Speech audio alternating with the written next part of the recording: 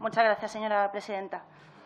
Bueno, casi que hoy estamos aludiendo mucho a la legislatura curtita que tuvimos la, hace, hace nada. Vamos a repetir casi la intervención porque, desgraciadamente, desde ese momento hasta ahora poco ha cambiado. ¿no? Eh, bueno, parece que a veces tenemos que encontrarnos con las tragedias frente a frente para que los partidos políticos empecemos a, a reaccionar. Pasó cuando vimos el cuerpo de un niño en una orilla de una playa cualquiera, ¿no? Eso hizo que todo el mundo reaccionara, se indignara frente a la Unión Europea, responsabilizara a sus representantes políticos y se empezara a tomar partido, por lo menos se colocara en la agenda política y pública el asunto de la crisis de los refugiados que estábamos viviendo. Y pasó algo parecido cuando el pasado 3 de marzo asesinaron a una líder, a una líder de los movimientos populares en Honduras llamada eh, Berta Cáceres. Unos días después de que ella, bueno, unos días después no, después de un tiempo de luchar para que una represa no se construyera en su territorio, cosa que iba bueno, pues alterar la dignidad y la vida de la gente que vivía en él. Unos días después también fue asesinado su compañero de organización, Nelson García. Y bueno, consiguieron que gracias a esos movimientos populares que ellos lideraron, eh, esa empresa no al final construyese esa represa, pero a alguien no les gustó y, acabó, y acabaron siendo asesinados. ¿no? Eh, bueno, pues parece que poner los ojos y las manos sobre las empresas multinacionales, sobre lo que hacen y cómo se comportan, pues no es un asunto baladí, es un asunto que realmente viene a ser para valientes porque se sabe que lo que uno a veces se juega es la propia, es la propia vida, ¿no? Y bueno, a día de hoy son muchas las organizaciones internacionales las que llevan muchos años, muchos años ya, eh, denunciando el, bueno, el poder creciente que estas empresas tienen, no solamente a nivel económico, sino a nivel político, que casi es más grave. ¿no? A nivel económico está claro que empresas grandes, multinacionales como Walmart, como Shell o como ExxonMobil, tienen pues, unos beneficios, unos ingresos al año que superan el Producto Interior eh, Bruto de países como Austria, eh, pero tampoco tenemos que irnos tan lejos. Hay otras empresas aquí en España, como Telefónica o Repsol, que tienen unos ingresos superiores al Producto Interior Bruto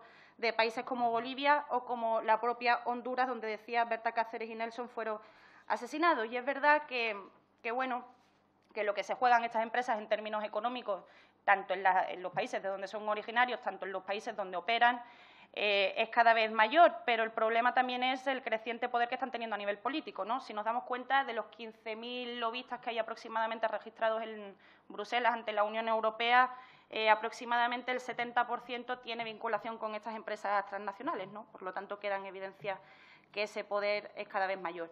Y con el poder lo malo es que, como siempre, viene pues la, bueno, la facilidad de abusar de él, ¿no? el riesgo de abusar de él. ¿no? Normalmente, al final, todas las operaciones políticas se ponen del lado de los intereses públicos y no de los intereses privados. ¿no? Y es conocido, como decía antes, eh, lo que hacen estas empresas. Si hablamos, por ejemplo, de Walmart, que, mencionaba antes, sabemos eh, perfectamente cuáles son pues, los bajos salarios y la explotación que hacen de sus trabajadores. Si hablamos de, de Shell, por ejemplo, también sabemos que, bueno, que han sido investigados y llevados a juicio en Estados Unidos por violar los derechos humanos o por su complicidad en la violación de derechos humanos en las plantas petroleras que tienen en Nigeria. Y estos dos casos, junto con el de Berta, pues al final es que son tres ejemplos más en un eh, desierto ¿no? lleno de casos, de casos parecidos por todo el mundo. Sin embargo, y a pesar de estos ejemplos, eh, que si los nombraran no pararíamos, eh, la comunidad internacional hasta ahora ha eludido su obligación de crear normas jurídicas de obligado cumplimiento para las empresas transnacionales en el marco del derecho internacional de los derechos humanos y al final la apuesta clara ha sido por la impunidad. Por eso presentamos esta PNL de nuevo, porque bueno, queremos que deje de salirle gratis a cualquiera, también a las empresas transnacionales que violen o se puedan permitir el, lujo de violar los derechos humanos en ningún territorio. Nosotros, desde el Grupo Parlamentario Confederal de Unidos Podemos, eh, en Común Podem y en Marea, eh, bueno, pues somos plenamente conscientes de que muchas de estas transnacionales, que tienen un terrible historial de violaciones sistemáticas de los derechos humanos, también tienen sede y operan en la Unión Europea y en España, sin ir más lejos, ¿no? Con lo cual tenemos que asumir que España tiene que adoptar un papel activo en la defensa de esta propuesta. Sabemos que hay una legislación al respecto, pero una legislación nacional o internacional deficiente o aplicada de forma eh, deficiente, que es lo que tenemos ahora, pues no puede mitigar de forma eficaz las repercusiones negativas que trae la actividad de las transnacionales en economías que sabemos que son además especialmente vulnerables, porque sabemos que comercializar está muy bien, sabemos que eso está muy bien, pero hay que hacerlo con un poquito de conciencia y sin dañar los derechos de nadie. ¿no?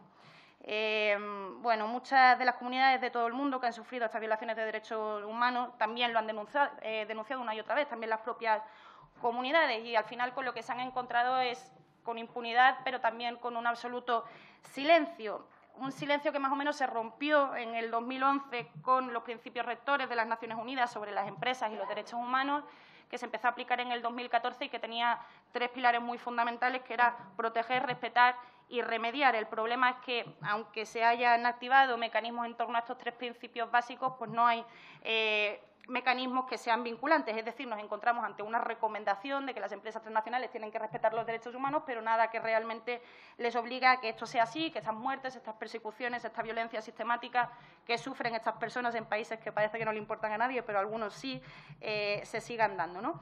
Eh, y nada, en definitiva, eh, las enmiendas que nos han presentado los grupos parlamentarios que lo han hecho ahora las expondrán, pero anunciar que prácticamente son las mismas que la anterior vez, las vamos a aceptar también porque tienen que ver con lo propio que defienden organizaciones eh, como Amnistía Internacional y las vamos a transaccionar y bueno, las acercaremos a la mesa cuando sea posible y terminar diciendo que bueno, que tenemos la responsabilidad en definitiva como representantes del pueblo español de velar porque las empresas, también las nuestras, no hagan lo que les dé la gana fuera de nuestras fronteras con completa impunidad. Muchas gracias.